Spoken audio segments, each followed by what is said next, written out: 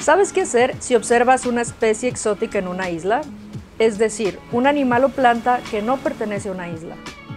Primero, trata de tomar una fotografía del animal o planta que no es común encontrar ahí. Pon atención en los detalles, registra el día, la hora y cómo lo encontraste.